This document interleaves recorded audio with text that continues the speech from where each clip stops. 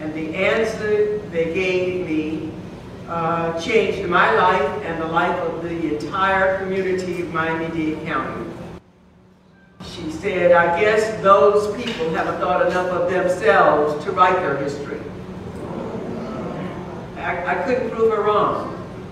Here I am, a school librarian. Uh, my uh, parents, grandparents came to Miami from Harbor Island, Bahamas uh, at the turn of the 20th century, first to Key West and then to Miami's colored town, Overtown.